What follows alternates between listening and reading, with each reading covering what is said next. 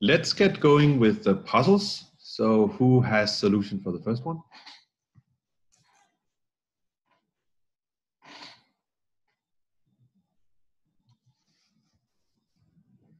So here we have a G pawn, which it promotes with check. So that's always tricky.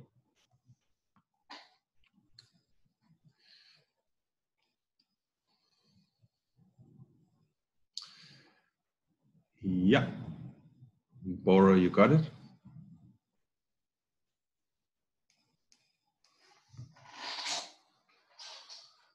So this is quite a straightforward case where black does white doesn't need to change front or anything. We can release the reserve knight right away. So the reserve knight is going for the c6 square, and then we transfer the other knight to c7. Okay, like this. It could be c6, it could be d7.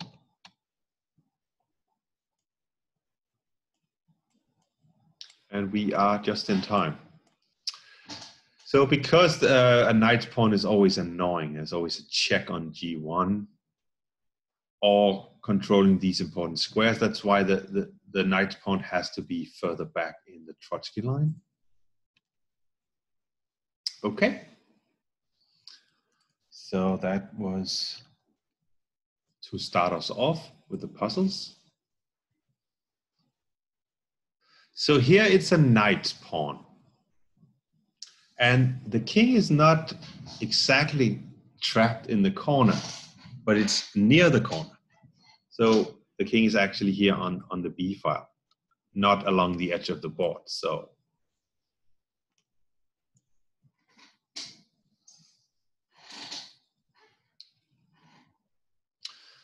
So we cannot, if black promotes to a queen, we cannot use this square, b6, so we have to somehow work around that.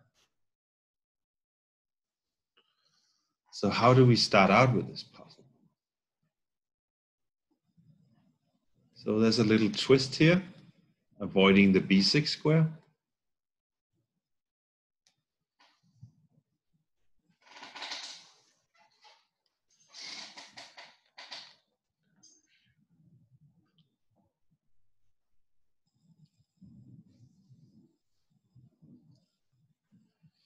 Any ideas?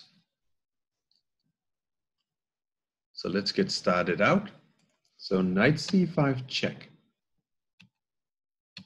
Let's say king to a7, then king to c7. So you might wonder, what happens if king b8? And this doesn't matter much because so the, the black king is trying to prevent us from going to c7. But in cases like these, we can get the knight to c6. And then after that, get the king to c7. And then it's just uh, uh, another move order. So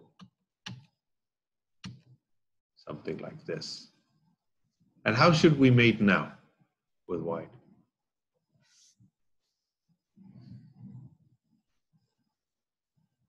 Yeah, that's it.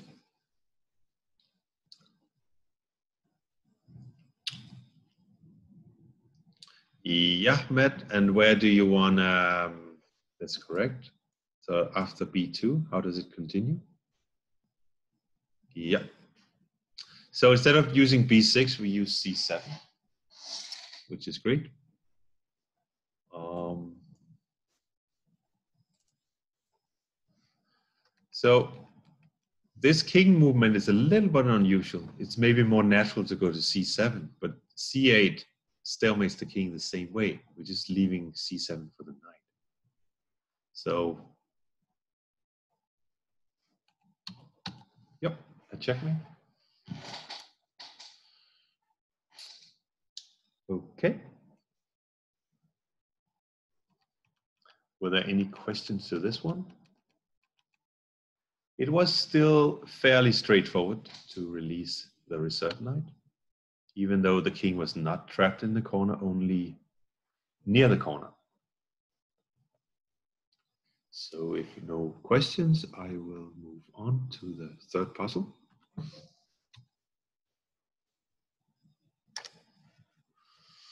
So this one, again, the king is not in the corner now, but it's near the corner. So actually, if we just look at this position here of these three pieces, so if black is to move here, the king is already trapped in the corner. So it depends on who's to move.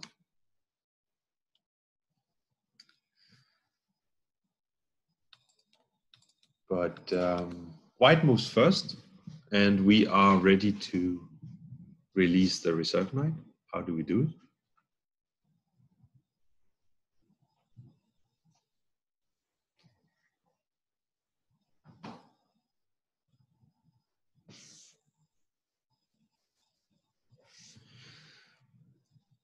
Yeah. So, uh, Stanley, you're correct. And let's say about releasing the reserve knight. So, if the king is like this, not exactly trapped in the corner, there is always the choice between c5, d6. And taking into the account that the kings are here on the b file, um, d6 is the most natural square because then we get to a position like um, trapped in the corner like this. So uh, if the if the white king were there and the black king there, it would be natural to aim for the c5 square. So there's a little bit um, symmetry there. So in this case, uh, we aim for the d6 square because this is our next natural move. And then with the knight on d6, we trap the king. So knight f5 is correct. And then, see if king b8, then king b6. And now black does the same thing as, as we looked at before. He's trying to keep the, the white king out from this square. So what do we do then?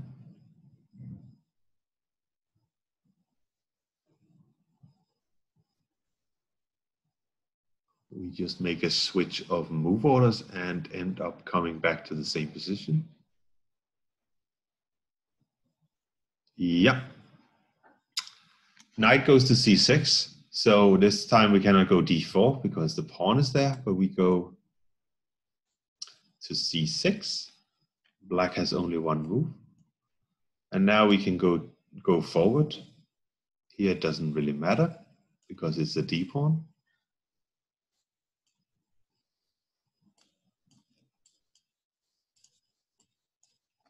And checkmate. Yeah, if king b8, then king b6. Let's take that. King b8, then king b6. Let's see this checkmate. Black plays d3. And then the king is trapped in the corner now. So once we get to knight to c6, we have exactly the same position. Now we can also go d4. So it's basically the same.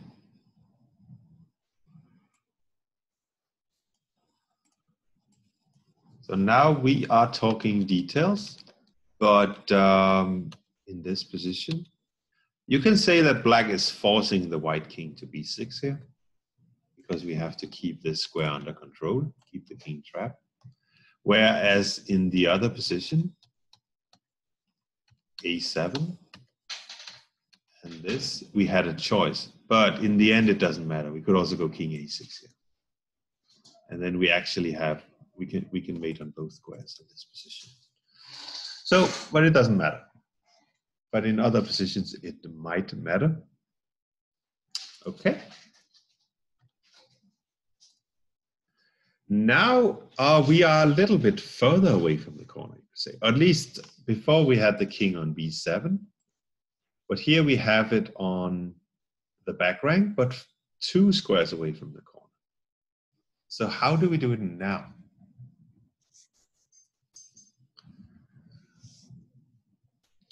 And Now you, you get a sense with knight's pawn. This pawn has to be really far back for, for white to succeed.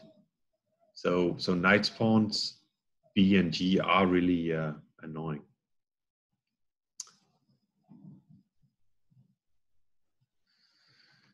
Yeah, you got it, Boro. We simply take it step by step. We would like to give this check here, but then we have to control this square first. So this is a step-by-step -step thing, where we simply take the black king into the corner and we have the time because the pawn is only on g6. So it goes like this.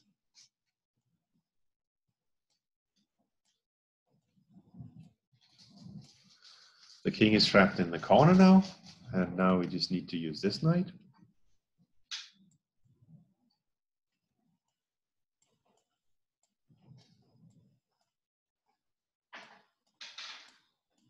And black is about to promote with check, but we have a checkmate. Okay, so that was straightforward too. We could release the reserve knight immediately. Um, no problems there, no changing in front of anything, but, but the black king was not in the corner, so that's why we had to do it like this. There are more complicated examples coming up. So let's see this one.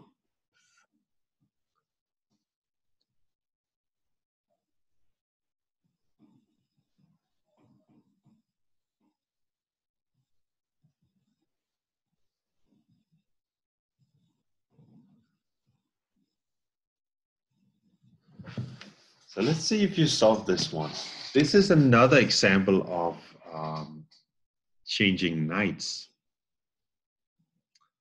And, but under different circumstances. Mm -hmm. Knight c7 check. I have to move.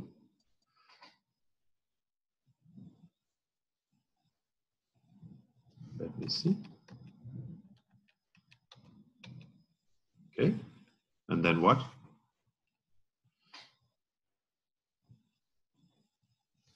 Mm -hmm.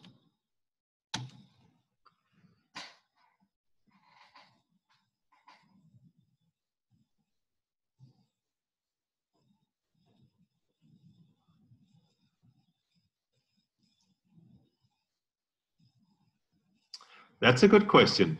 Any difference if we go knight d6 instead of knight c7? In this position, see. No, actually not. So, uh, and I could tell you why. Because the key move here is you have to realize with the knight here and the king here, um, the king is actually trapped in the corner if it is black to move. And our goal is to trap it in the corner. It's not there yet, so we have to make sure that uh, we can force it to the corner. So the key move here is knight b4.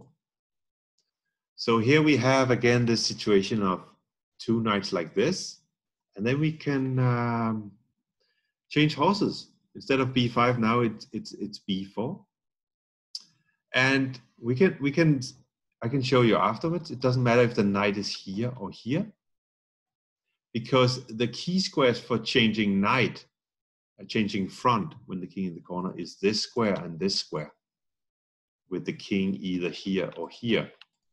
Um, and you can see that the white knight can get to either these two squares. So in the end, it doesn't really matter which knight move you make. So let's see why the king is trapped in the corner. Now we get the knight here, and you get the idea. Something like this. King is trapped in the corner, and now it's just about releasing the reserve knight.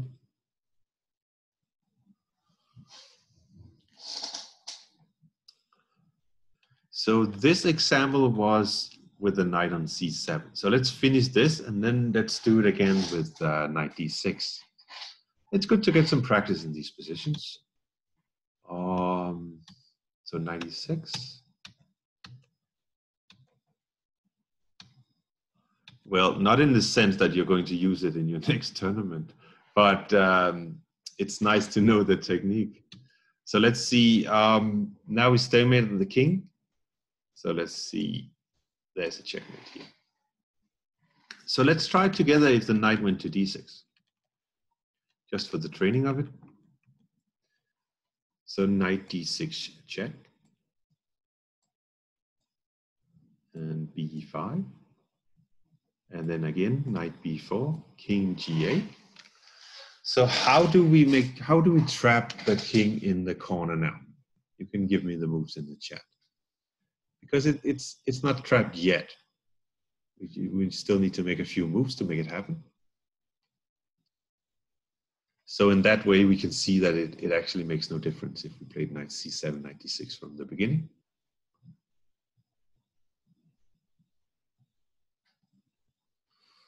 So what is the key move here to trap the black king in the corner?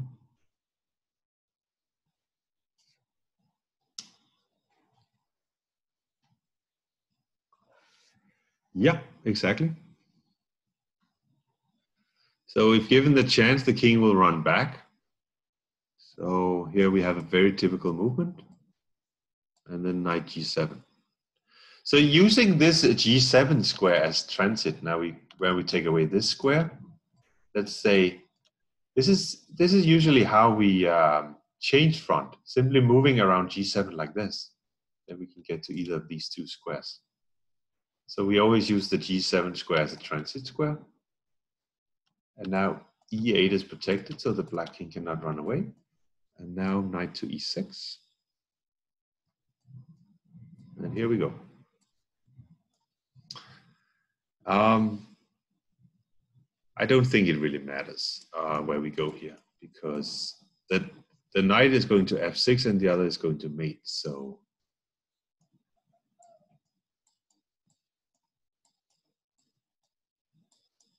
yeah. Okay, so that was a little twist. So we have to. Um, there's actually quite a few of these puzzles with. Uh, if you decide at some point to go through my 50 puzzles on the block, you will see there's at least a couple of more where you changing knight against a, a B or a G pawn simply to win time. So there, there's another way of losing a tempo. Okay. Let's look for the next one. So now the, the black king is in, in the lower part of the board. How do we do this?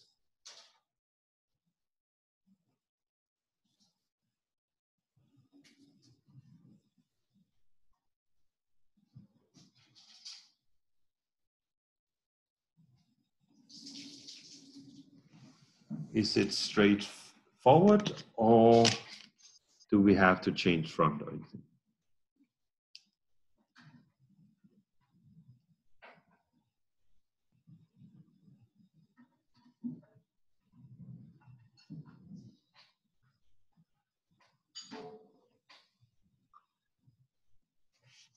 So let's calculate. Can we get the knight to c3 in time? And then, sorry, and then do the checkmate here? Or do we have to be clever with trying to lose a tempo or whatever?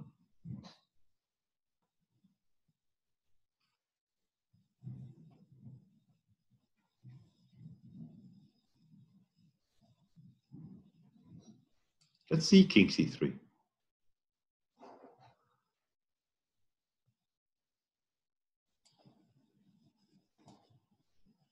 And then you want to go king d2, I suppose. And king c2, king a2 would be the starting position. So I guess you want to do this and get the starting position with black to move.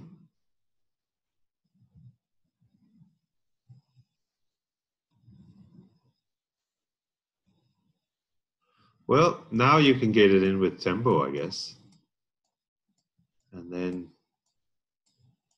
this is actually one move faster than the, the solution I have here. But it doesn't really matter because black is allowed to queen here. It doesn't help him. So because you played king c3 and lost the tempo, you were able to bring the knight in with a check in two moves, where otherwise I would use three moves. So you, you gained a tempo, but it doesn't really matter. So would king b3 be okay on the second move after king b1 with black? Let's see. So we're talking about uh, you want to play king b3. Am I right? And then king b1. Okay. Let's go back then. So king c3 first. Okay, I got you.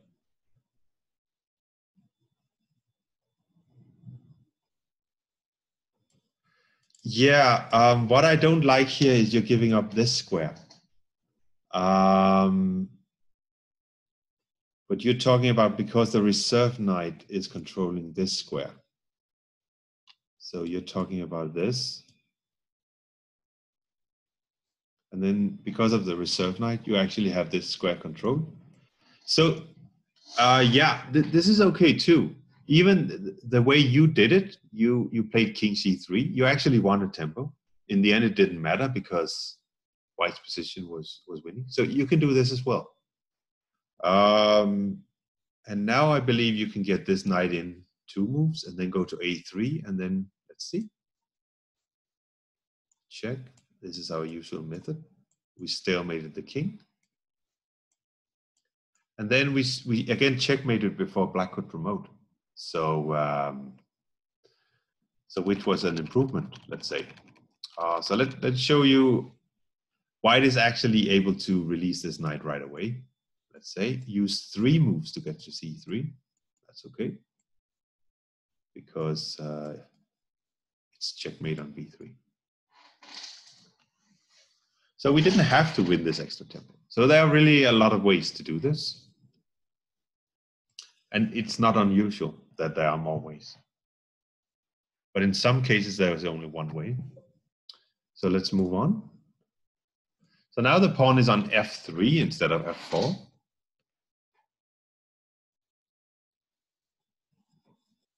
And the king is on a1. Mm -hmm.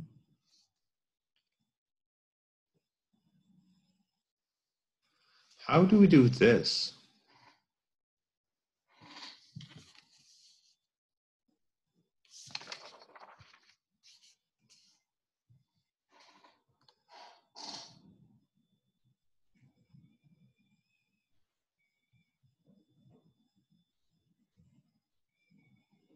So we have no time to get this knight to b3.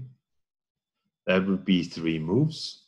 Then we can get the knight to c1, but then it takes too long to get the other knight around because the pawn is only two moves away from promotion now.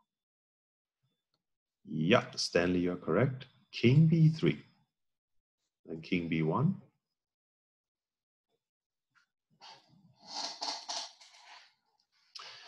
Yeah.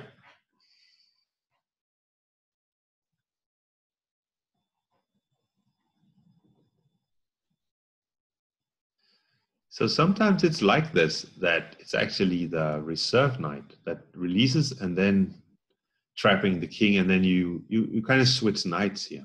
Um, and now we have the mate.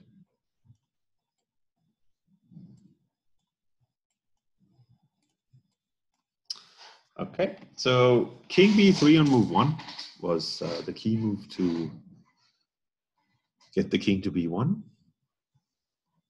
Okay. Let's see uh, the last one. So this one is actually, um, uh, Troitzky had another solution in his book, but I, um, so the solution here is, mine, but it's very logical. It's very similar to what we've already looked at. What is the winning idea? Well, I do give you two questions in this one. So, if black moves first, what is the maiden four moves?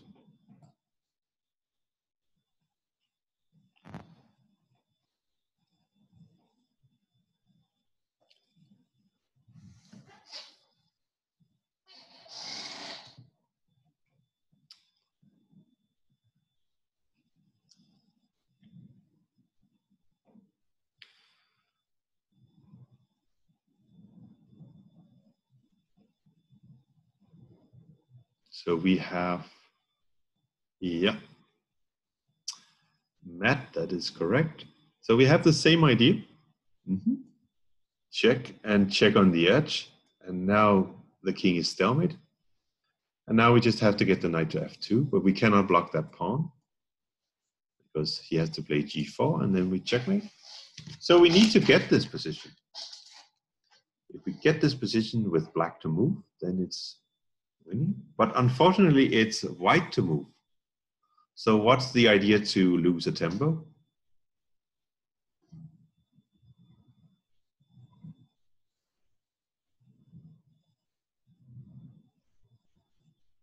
So we need to find a way where we can triangulate the king. Let's see, if we look at the two white knights, they are creating this cage for the black king. So black can go back and forth. That's one, two, one, two. So we can triangulate, make it one, two, three.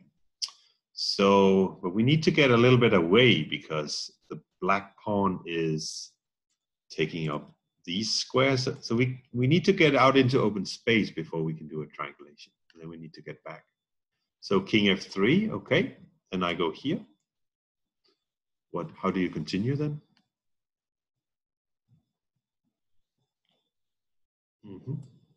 Then I go king g1.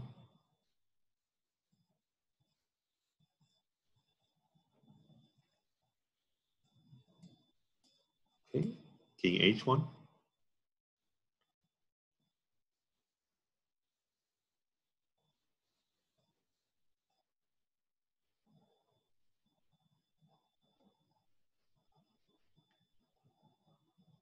So Stanley, how do you want to continue? Okay, king c3. There, there are many options here. You just need to find a place where you triangulate and then you have to, uh, yeah. And then let's just say d3 because you came from d3.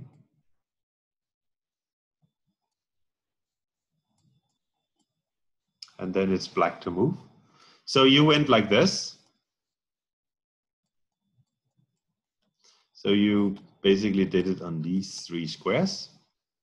I think you could have done it a little bit closer. I think it was possible to do it on these three squares, or you could have done it on these three squares, but it's fine. It works.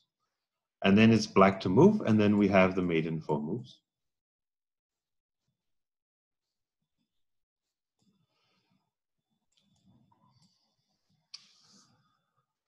Okay, guys, this was a very complicated endgame, complicated endgame, and um, but you you will get all the positions, so uh, you'll have the chance to have an extra look.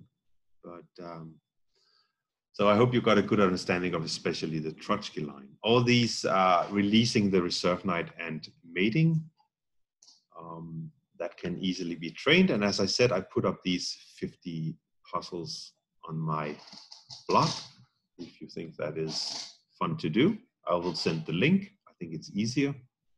So um, thank you for today. So that was it. And see you, many of you, next Thursday, where there will be four new classes. Um, so you can sign up by me or you can sign up through the Marshall Chess Club. They will announce it very soon. Okay, thank you. And uh, that's great. Um, let me get back to you, Bora. Um, okay, so um, see you everyone. Bye.